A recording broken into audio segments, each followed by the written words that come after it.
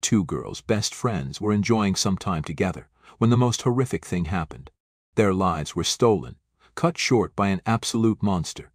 This sketch captured the attention of people around the world. We all wondered who this monster was. This man in the sketch became the main suspect in Abby and Libby's killings. It took years for police to arrest Richard Allen, and honestly, he looks so much like the sketch, it's scary. Jury selection started this week and is moving quite rapidly. If Richard is found guilty, he could face up to 130 years in prison.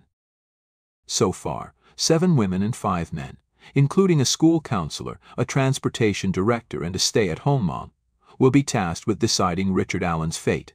Opening statements are expected to take place on Friday, and the trial is expected to last a month.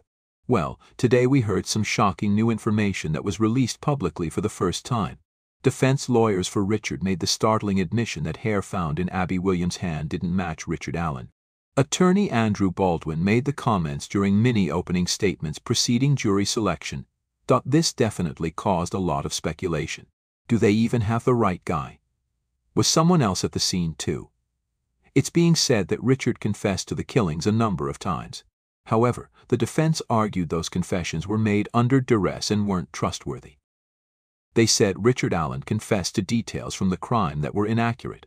He also confessed to other crimes that didn't happen, his defense team said. More than 100 people will be called to testify between the defense and the prosecution.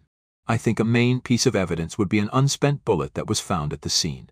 This unspent bullet was linked to a gun owned by Richard Allen. Richard had admitted to investigators that he was on the bridge trail on the day the girls disappeared, but has pleaded not guilty to the charges. We will be following this trial very closely too, as many of us have waited a long time to see justice served for Libby and Abby. There is some speculation going around that Richard Allen is the wrong guy, the fall guy for these horrible killings. What do you guys think? Drop your thoughts down below.